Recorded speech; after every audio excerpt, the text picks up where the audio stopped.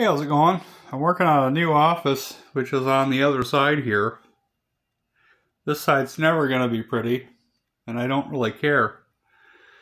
But on the other side of this, it's all insulated. All around the sides and uh, on the top. And so we got ourselves a uh, ComforTotal 110 volt uh, mini split AC. I actually installed a, a dedicated receptacle for it. So if you're ordering one, this is what you're going to expect to receive. It's two boxes. You have the head unit that's on the inside, and you have the condenser unit that goes to the outside. They're in separate boxes.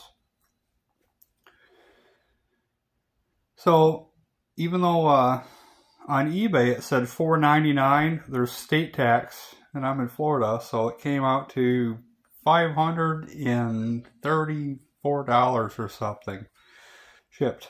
That was the total. But the shipping was only like four days, so that was really slick. So this is going to be a part one. I'll give you an update pertaining to the part two. You guys take care. Bye.